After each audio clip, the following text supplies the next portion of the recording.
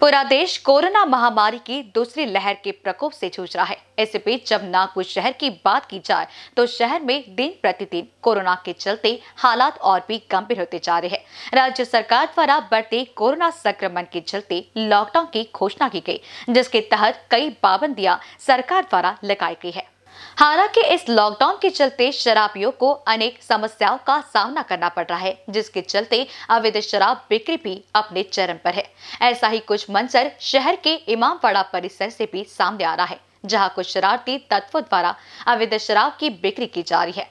तस्वीरों में आप साफ़ देख सकते हैं कि किस तरीके से शराब की तलब में शराबी अवैध शराब की बिक्री कर रहे हैं। इन सारी चीज़ों की वजह से उस इलाके में रहने वाले लोगों को परेशानियों का सामना करना पड़ रहा है।